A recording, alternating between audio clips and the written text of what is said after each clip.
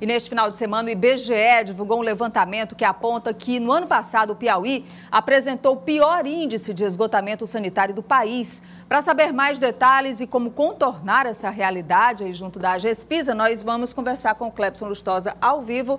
Oi, Clepson, bom dia. Olá, Nádia. Bom dia para você e a todos que acompanham o Notícia da Manhã.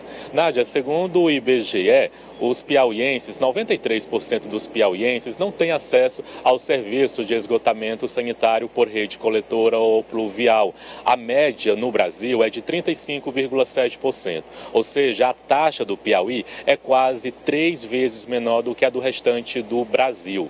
Mas quem pode trazer mais informações para a gente, Nádia, acerca desse assunto, isso porque no Piauí, 160 municípios, eles são operados pela Gespisa. E aqui ao meu lado eu estou com o diretor de engenharia do órgão, o senhor Carlos Augusto de Oliveira, que pode trazer informações para a gente, diretor, sobre esses 160 municípios do Piauí, ah, que a, a GESPIS é responsável por operar. Como é que a gente pode mudar essa realidade? Bom dia.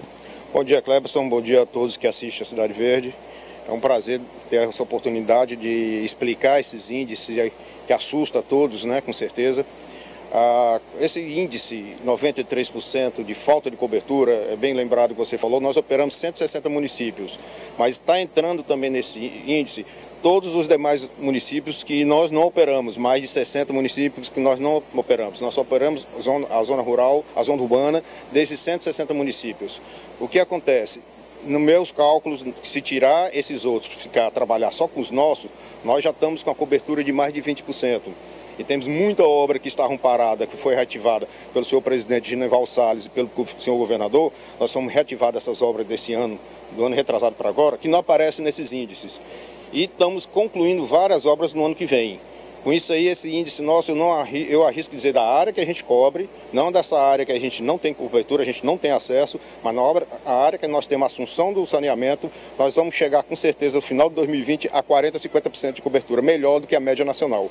Eu cito como exemplo, que eu citei para você, nós estamos terminando a obra de, avançando, bem avançada a obra de Piracuruca, estamos bem avançada a obra de Peripiri, que vai dar mais de 60% de cobertura.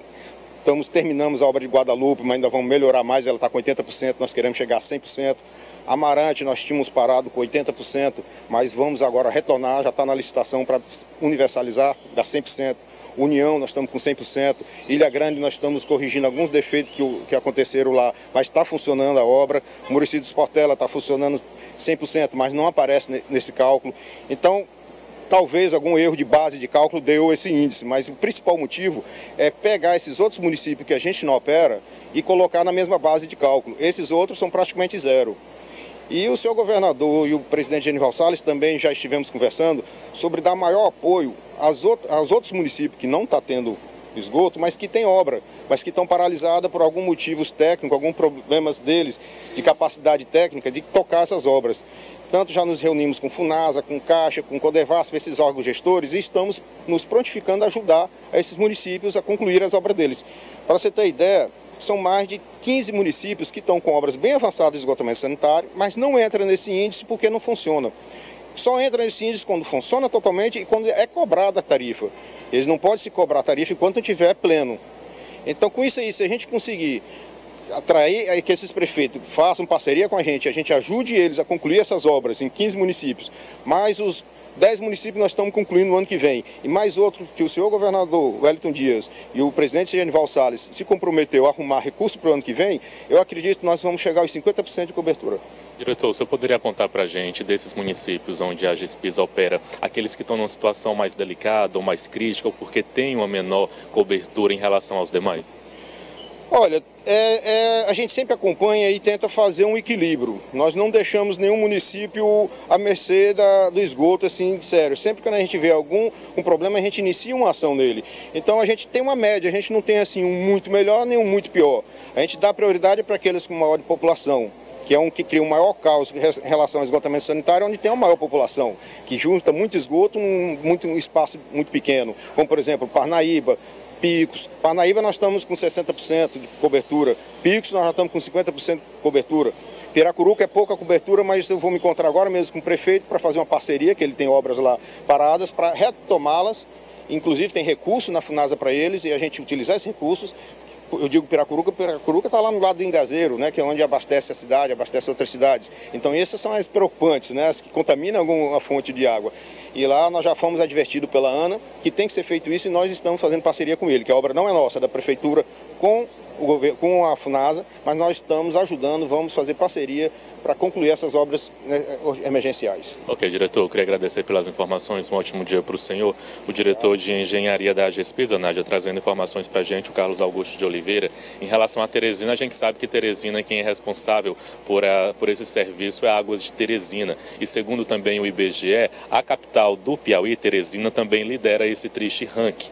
Hoje Teresina está ah, aí com 91,2% ah, de moradores da capital que não têm acesso ao esgotamento.